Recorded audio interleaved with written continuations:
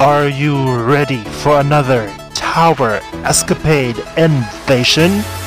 Presenting the Grand Torre de Macau.